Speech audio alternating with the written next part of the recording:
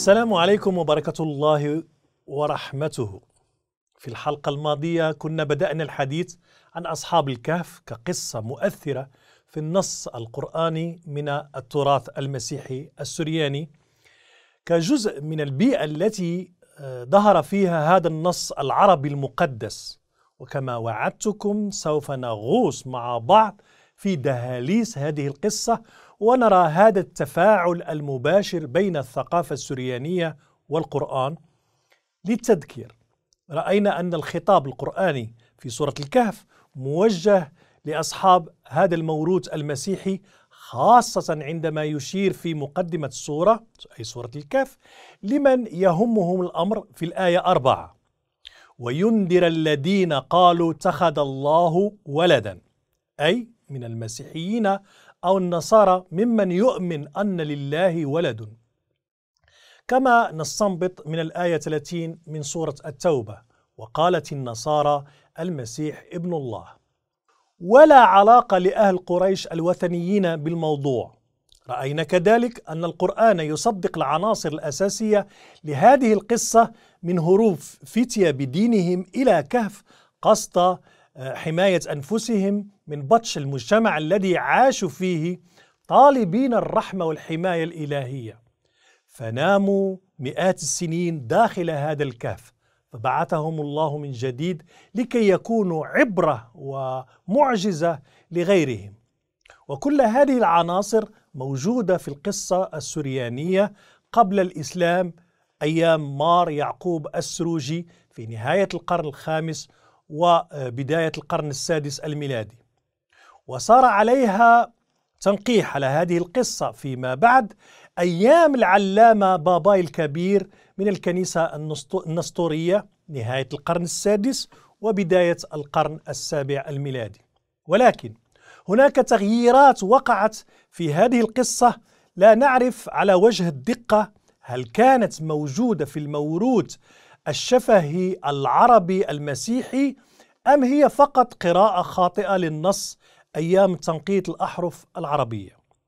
وعلى سبيل المثال يقول النص القرآني وكلبهم باسط ذراعيه بالوسيط بينما القصة السريانية تقول على هذا الحارس عيرا أي ملاك الرب يحرس رفاتهم وبالرجوع لرسم الكلمة وكلبهم وبحسب مادة الفيلولوجيا يمكن قراءة هذه الكلمة كاف لام نبرة هاء ميم قبل التنقيط والتشكيل كما قرأها أبو عمر الزاهد وكالئهم باسط ذراعيه بالوسيط.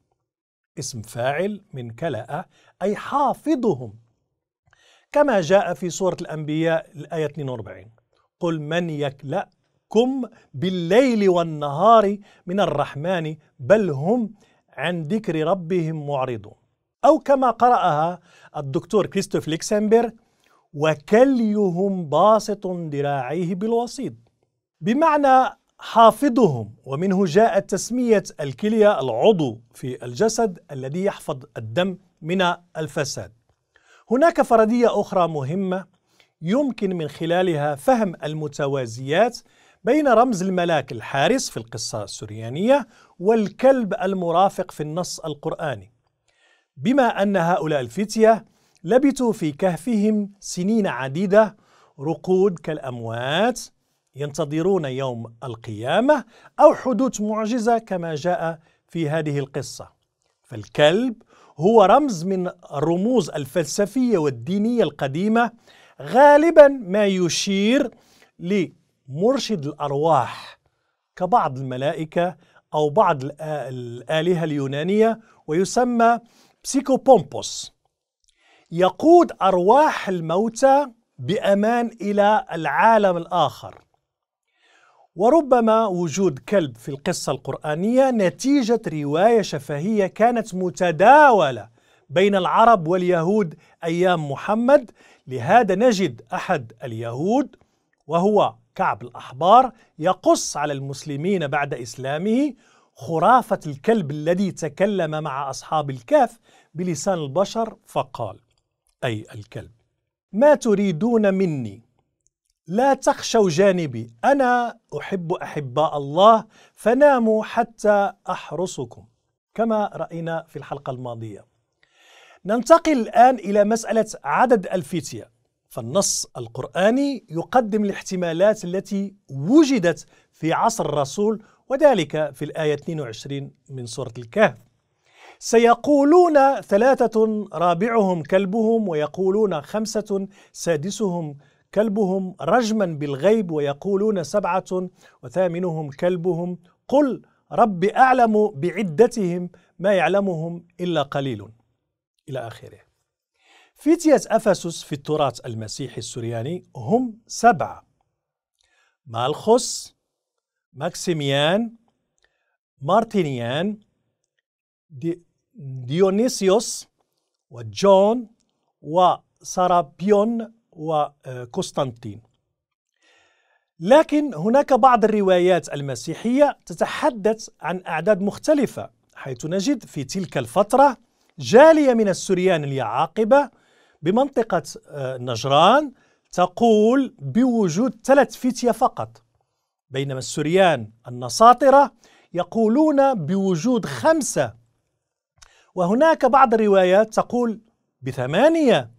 إذا القرآن ابن بيئته نقل لنا بأمانة الجدل القائم في القرن السابع الميلادي بين أصحاب الروايات المسيحية في عدد أفراد هؤلاء الفتية ولم يحسم الأمر بين هذه الروايات واكتفى بالقول قل ربي أعلم بعدتهم ما يعلمهم إلا قليل وهنا تظهر قوة نص القرآن باعتبار هذه القصة رمزية وليست تاريخية وإلا لما سكت عن الإدلاء بعددهم الحقيقي باعتباره وحي من عند الله. ننتقل إلى عدد السنين. فالقرآن مرة أخرى لا يذكر عدد السنين لرمزية القصة حيث قال: قل الله أعلم بما لبثوا في الآية 26 لكن قبلها ذكر رقما مهما للغاية حيث قال ولبثوا في كهفهم ثلاثمائة سنين وازدادوا تسعا وهنا نرى بوضوح عدد السنين بالحساب القمري وذلك عند العرب وهي ثلاثمائة تضاف عليها تسع سنين كنسيء لتعطي ثلاث قرون بالحساب الشمسي باختلاف 11 يوم في السنة بين الحسابين. إذا مرة أخرى القرآن ينقل لنا خلفيته البيئية ونتساءل لماذا تحدث عن عدد السنين؟ والجواب موجود في الروايات المسيحية خاصة التي اعتبرت هذه القصة حقيقة تاريخية. فقيل مكث هؤلاء الفتية في كهفهم من آه، الحكم الإمبراطور الروماني ديسيوس 249 251 إلى الإمبراطور ثيودوسيوس الثاني 408 450 ففي التنقيح الأول لميمار يعقوب السروجي وفق الحساب اليوناني 372 سنة. وفي التنقيح الثاني 350 سنة وفق الحساب اليوناني كذلك. وذكر مؤرخ الكنسي يوحنا الإفسيسي في القرن السادس الميلادي عدد الفتية ثمانية. وعدد السنين 370 سنة. بينما زكريا الميليطيني من وهو عاش ما بين 465 إلى 536 ذكر عددهم سبعة فتية. كان قائدهم هو إقليدس وعدد السنين 200 سنة تقريبا.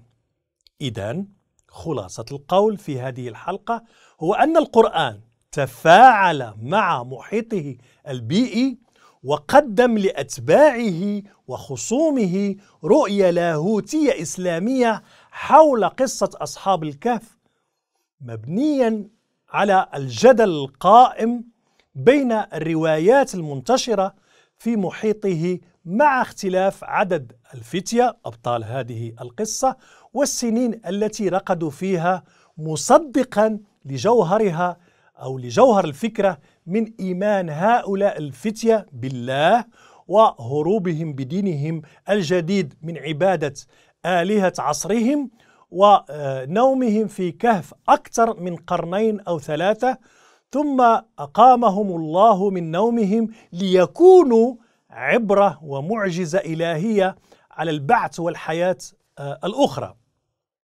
آه، لم نكمل الموضوع في هذه الحلقة انتظرونا لتكملته في الحلقة القادمة وإلى اللقاء.